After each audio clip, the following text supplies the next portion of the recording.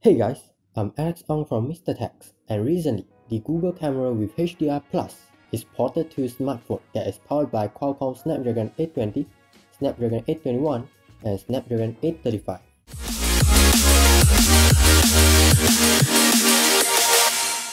Google camera interface is simple. Swipe up or swipe down to change between photo and video mode. Swipe left to access more modes like slow motion, panorama, photosphere, and lens blur. You can also access the settings here. Let's see some test footage that I have captured using HTC stock camera and Google camera.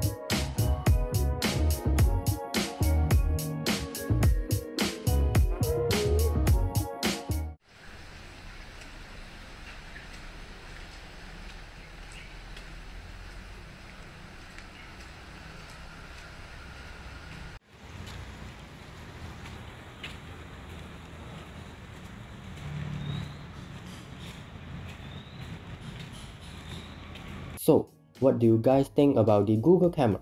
If you are interested to download the Google camera, I will leave the link down in the description below. That is all for this video. Thank you for watching. If you like this kind of video, remember to like it, share it with your friends, and subscribe to the Mr. Tech YouTube channel.